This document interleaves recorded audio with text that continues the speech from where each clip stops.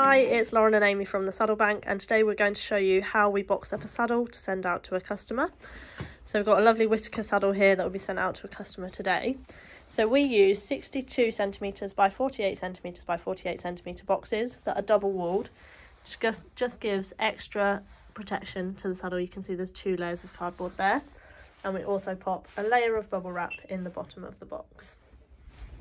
Okay, so the first thing that we'll do is pop another layer of bubble wrap around the saddle. This just protects the cantle and the pommel.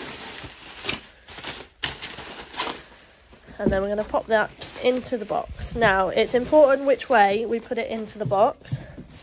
So we want to put it away from this seam here. If we put it against this wall, that's quite weak and that could rip and come undone easily. So we pop it against the other seam uh, the other side, sorry. And then we just place bubble wrap all around the saddle just to protect it in transit.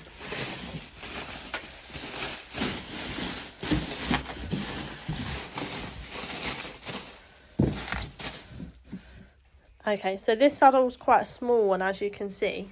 So normally your saddle would come farther up here and you could just close this as normal but you can see that there'll be quite a lot of room above the saddle. So all we do is just slide it down a little bit and cut the edges down to the next ridge. It just means the saddle will be more secure in the box as it will be a snugger fit.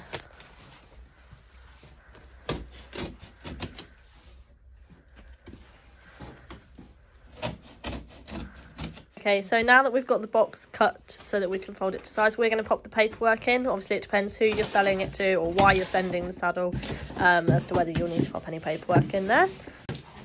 Okay, so next we're going to tape up the box. Now we tape across the box. This just helps to pull it all and hold it all together.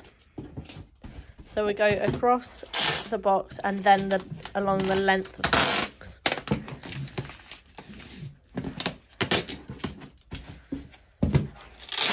Then we go along the edges.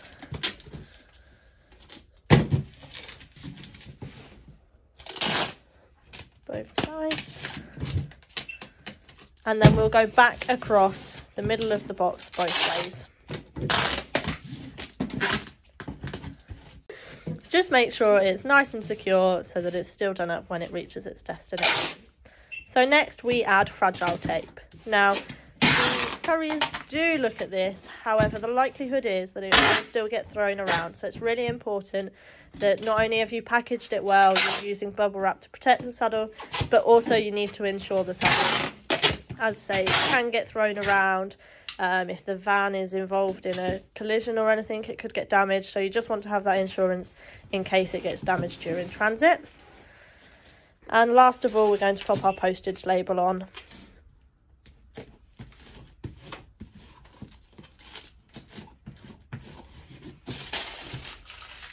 Okay, so there is our saddle boxed up and ready to send.